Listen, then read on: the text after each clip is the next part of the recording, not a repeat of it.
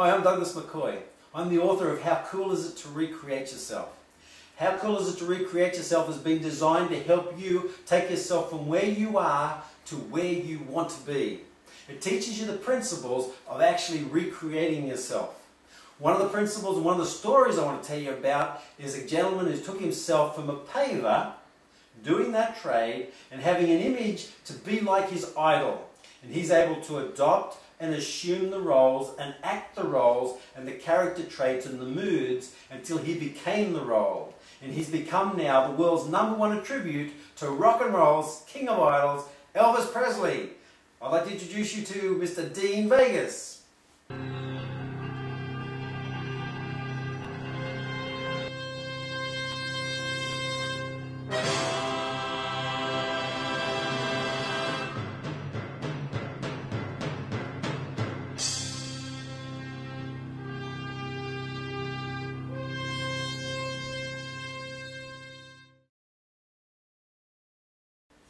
My name is Dean Vegas. I'm an Elvis tribute artist.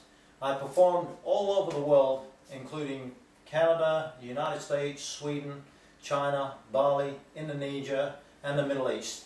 And of course all over Australia as well. So I wasn't always a tribute artist. My real profession as a young kid was a paver. I started my own business at the age of 20. About eight years later, uh, couldn't do it anymore. The back gave in, and I've always had a passion to perform my idol. My idol was Elvis Presley. I always wanted to perform an Elvis tribute. So uh, I finally uh, put a show together, and for the first five years, it was like banging your head against a brick wall. You know, I had a saying, I'd knock on somebody's door, open it, slam it in my face, because that was easier uh, going through that than, than the knockbacks that I had. But with persistence and belief in yourself and in myself, I believe that I could do it.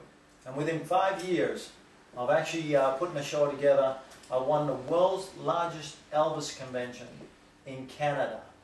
Uh, and then a year after that, I was invited to sing in Memphis, Tennessee at the Elvis Memorial Dinner, which is invitation only.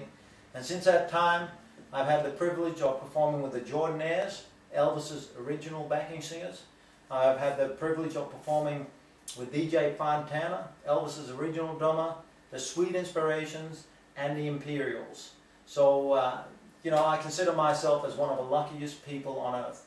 And to top all that off, a few years ago when I was in Tupelo, that is the birthplace of Elvis Presley, I received the key to the city of Tupelo from the mayor of the city.